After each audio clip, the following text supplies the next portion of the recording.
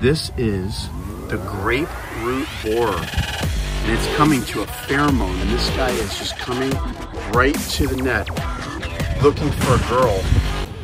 Hi folks, this is David Fine from Keys Moths, and I've got a rather short but very interesting video for you today. I'm in my backyard here in sunny South Florida. It is late spring, and I have my butterfly net on my back porch just because I was gonna I was gonna try and catch something earlier and I saw it. So I just planes stink for YouTubers. Yes, they do, especially when you're in the middle of urban South Florida. But guys, I had my net sitting on my uh, back porch here, and just just in case I saw something that I wanted to collect and get a uh, some photographs or video for, and I saw something super super interesting. Um, guys, it's all about artificial sex pheromones that companies make to help control pests and I got a few of these and we got a really, really cool moth that came to this lure right here in our backyard. So I'm gonna tell you all about that. I'm gonna show you the moth. Check this out.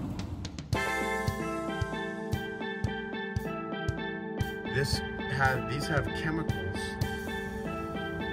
of a female moth that pheromones, sex pheromones they emit after emerging from their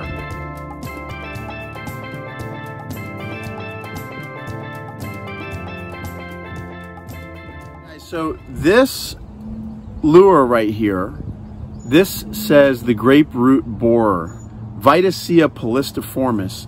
It's actually a Sesiid moth.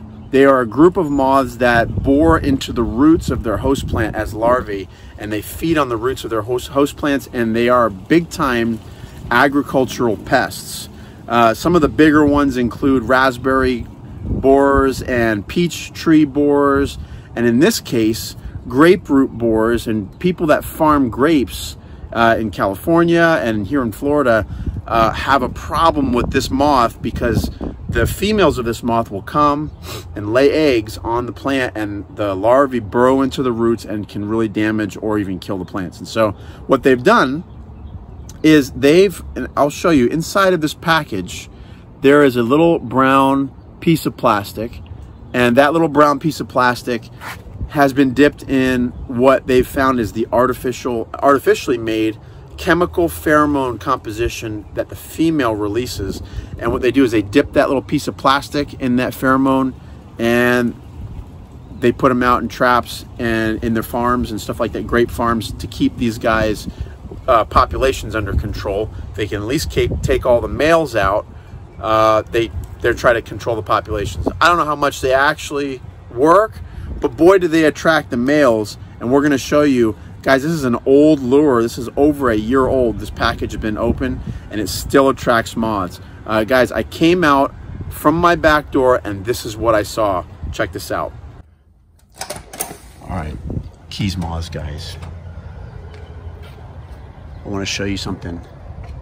There is an incredible moth right here, guys. This is not a wasp. Come on back. Please come back. Please come back.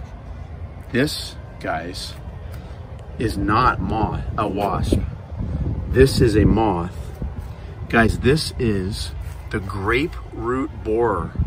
And it's coming to a pheromone lure that I have in my net. See these lures right up here, guys, are artificial sex pheromones.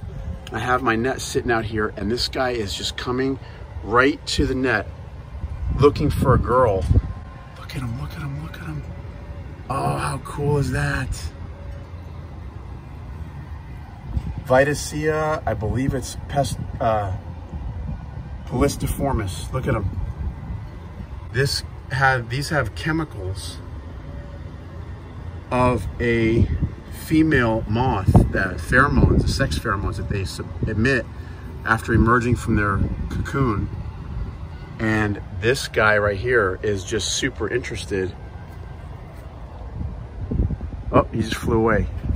Guys, hopefully he comes back, but this is super interesting, guys. These lures are almost one year old.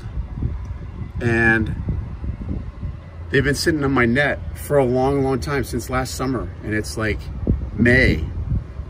So that shows you how long, in fact, which one is this? Oh, there it is, look. Check it out, guys. This is the package for the grape root borer lure that I have.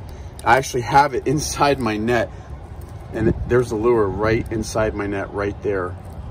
Uh, these are actually, I think, these are clearwing borer lures as well, um, but different species. Those are like uh, peach tree borer lures. We were up in Georgia. This, guys, is the grape root borer lure, and the moth that you just saw was the grape root borer, Vitacea polistiformis, and he was coming to this little lure, this little brown thing in here, which is dipped in a chemical pheromone. That's super cool, guys, because that moth uh, looks a lot like a wasp. Um, the we're just in my backyard, by the way. That's um, another another part of this.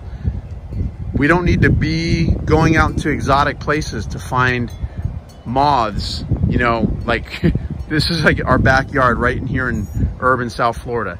They tend to like the afternoons. It's actually about 6.30 in the afternoon right now. And that is when the uh, a lot of the um, mods are active in their pursuit of the girls. So uh, guys, that's pretty cool. You know, I got these lures out here. They're sitting tied to my net. They've been, they're a year old and that is how long the chemical lasts on these lures. And so what I'm gonna do is I'm gonna put this net back and see if our uh, gentleman caller returns. Pretty cool, guys. There you have it, guys. A little piece of plastic from a little lure like that. Little tiny piece of plastic. That's all it took with some chem with the right chemical and it's over a year old, attracted the grape root borer to my net. And it was cool. He came in, he investigated, he looked around for a minute or a minute and a half, and then he flew away. Uh, but that was cool because that's really not that easy of a bug to find. There were some other Sesiid moths down here that are a lot more easy to find. We have um, Synanthedon um, which is an oak borer. Those are a lot more common. And then we have uh, Synanthedon texani, which is also I, no, actually that's a composite borer, but um, the, the grape root borer is a lot harder to find and we saw that male clear as day um, come to the lure. So guys, if you learned anything, give me a thumbs up. Don't forget to like the video and subscribe to the channel. And we're gonna show you a whole lot more about the butterflies and moths of South Florida. Uh, guys, let's get out there and enjoy our backyards. Let's enjoy South Florida. Take care.